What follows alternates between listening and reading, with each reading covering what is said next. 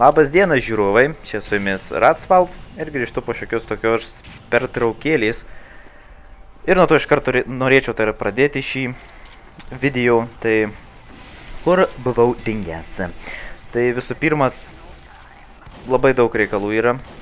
Tai yra buvo reikalų ir yra ir ta tikriausiai bus reikalų. Tai kas tie reikalai? Tai visų pirma, tai a, dabar prasidėjo tas laikotarpis, gegužės mėnesis, tai kai tie visokie mokyklų egzaminai ten ir bla bla bla, nors aišku, čia egzaminai yra nedidžiausia problema, bet nu, vis tiek labai daug laiko atima, nu, visgi reikia pasimokyti viską, nes susikėjusi tai bus blogai. Ir po to sekantis dalykas yra, e, dabar laikau aš nuo balandžio, kažkur gal vidurių, e, e, motociklų teisės. Tai vėlgi jos užima laiko tai, kad reikia teoriją mokintis, ten visokie praktikos, ten važiavimai. Dabar jau vėl aš turiu dar plus suspėti iki birželio vidurio gal kažkur. Viską, viską užsibaigsiu su šitom teisėm. Tai yra įsilaikyties, nes, nes išvažiuosiu vasarai biškai padirbėti į užsienį. Nu, bet prieš to dar biškai prieisim, tai visų pirma, tu sakau, su tom teisėm, tai jos labai irgi, kaip jau minėjau, daug atima laiko.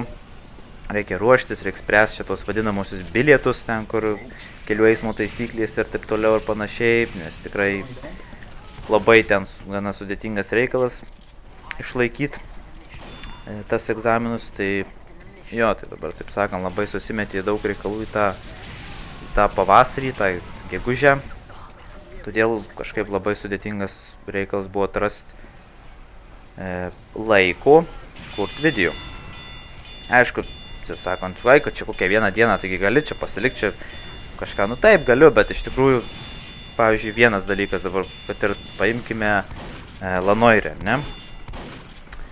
Ta pirmą epizodą man padaryti e, reikėjo maždaug, gal čia keistai nuskambės, ką čia tiek laiko, bet tiesą sakant, antrą dieną aš jį tik padariau. Prasme, dvi dienas užtrukau darant. Tai pirmą dieną nufilmavau, e, maždaug pusę įgarsinau, nes tikrai labai ilgai užtrunka, nu visgi reikia, nu, tai yra stengiuosi įgarsinti kaip įmanoma daugiau su, emocija, su emocijų daugiau.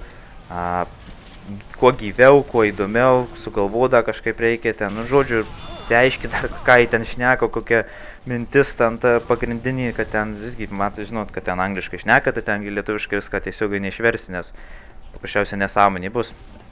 Tai viet tą reikia stengtis, po to visgi, nu taip, taip ir iš jau salonorė, kad vieną dieną e, vakare tai yra nufilmavau ten kažkada, tai per keturias valandas maždaug padariau pusę tų visų klipų. Nu tai kitą dieną, aišku, ten užbaigiau ir įkėliau, nu tai va, maždaug dvi dienos.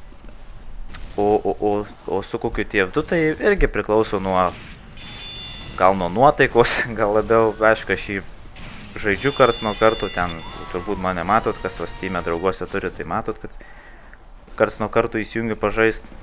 Bet paprasčiausiai arba, arba tiesiog nėra norų, arba šiaip įsijungiu labai trumpam laikui. Nu, nu toks, jau, toks jau čia dabar dalykas. Tai, tai va, tai su šitais kaip ir dan, tai dabar pereinam prie to, kad prie tos vasarėlės vadinamos. Tai Aišku, iš tikrųjų gal nebus toks labai minusas tą vasarą, nes vasara vis tiek šilta, visi ten važinėja, reikalai čia prie to kombų čia labai nesisėdi, nebent ten vakare kada trumpam, bet, bet tą vasarą todėl aš ir išvarau į šitągi, supranti, užsienį biškį, manį manį užsikalt, nes tikrai reikalinga ir, ir, ir nelabai išėjai sukurti video. Šiaip Aišku, jūs gal dabar klausimas būtų, tai jau, kodėl dabar ten negali tada kurti, kaip tik kompas, aišku, kad yra, tai turėtų būti. Taigi, visų pirma, taip, kompas yra, bet paprasčiausiai nėra sąlygų. Tai yra, kad a, tas ten, kur aš gyvenu, tai yra pas savo tėvą, tai pa, paprasčiausiai nėra, nu, nėra galimybių, nes kadangi tu kai rašinėjai, tai turi būti tyla, nu, nes kitaip čia triukšmas bus čia kažkur nesąmonė, kažkokio lievas video gausis, tai nu, vis tiek dar plus sugalvoju turi tas, kitas dalykas, tas kompas yra laptopas, tai yra, pff, tai ten nieko gero, tikrai jau seniena gera. Tai, nu, žodžiu, neapsimoka man paprasčiausiai dabar viską ten, pavyzdžiui, ar ten susisiųsti į tą kompą, visgi jis ne mano. Tai ten kažką bandyti daryti, ten atrodys iš šono kaip durnelis jiems ten, kad o čia su savim ten šneku kažką, kaip pavyzdžiui dabar, bet, nu, bet jie dar kadangi nepratę, čia mama tai ten pripratus, jau ten pati ten bando, tai yra į duris ten vos pasipaaiškinai, gal, gal netyčia filmuoju. Dabar žodžiu, smėtame, kad jo, ten su tom galimybėm sunku, plus aš važiuoju ten, kaip jau minėjau, dirbti, o ne šiaip ten, žinai, jei, ten ir ten prie jūros į klubą, nu žodžiu, bet sakau, varom biškai padirbėti, tai vieną keurą dieną dirbsiu, vakare gal kažką kito ten išeis veikti, nu bet žodžiu, užimtas, taip sakant. Tai, tai dėl to turiu nu, nu, nuliūdinti, taip sakant, kas čia baisiai gerbėjai ir kas šitų video baisiausiai laukia, tai va turiu nuliūdinti. Nu bet kas, kurie išliks per tą visą vasarą, nepabėgs, tai didelis liuksas. Ir tikrai, tikrai rudenį, va, jesau, ten jau baisiausiai čia kaip pjausiu ten tuos video vieną po kito, tai, fu, čia tik spėkit žiūrėti. Ne, iš tikrųjų bus matyti, bet, bet jo, tai bent jau taip norėčiau. Tai dabar taip, tai dabar iki to išvažiavimo viso, tai dar tikiuosi, kad išeis sukurti kokį, nu bent jau minimum 2-3 video, tai tikiuosi, kad išeis. Labai norėčiau šį planuoju, kaip sakiau, pakur, bet ten daug laiko užima, bet, nu, iš tikrųjų pasistengsiu pažiūrėti dabar. Plus, jau norėjau lyg ir ketinau pabandyti bent jau pažiūrėti kaip ten kas ir kadangi iš šitos vadinamus Windowsus persirašiau, tai kažkaip susiknisau ten, nepasileido, tai reikėjo atsisius per naują, tai dabar dar ten reiks pažiūrėti, ar teisėjai ten kažkaip išliko, lyg ir įsisaugo, bet nu, bala ten žinau, kas dar bus. Tai va, tai bus matyt. Nu ir kaip ir sakant, šiam kartui tiek, tai čia tiesiog informacijos kalnas buvo, kodėl čia kaip čia ir kas ir bus. Tai, tai jau, tai ką žinau, laukia dar tikiuosi kaip jau minėjau, sakau, bus dar pora video.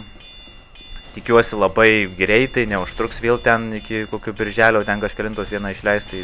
Tai va, tai ačiū, kad žiūrite ir iki.